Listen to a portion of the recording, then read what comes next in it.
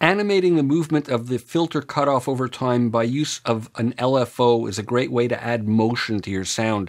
Here's a square wave playing a pad with a straight filter sound. To add movement, I'm going to use an LFO to modulate the filter cutoff, and I'm going to set the rate to sync to tempo, and we're going to start with 16th notes, and by using a sample and hold type of waveform, I can get a kind of random cutoff value generated.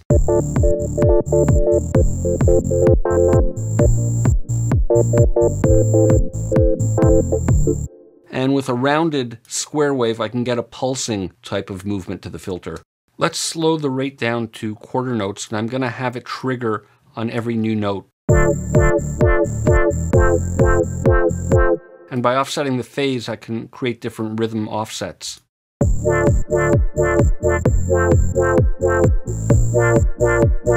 So those are some ideas on how to animate the cutoff of the filter over time using an LFO.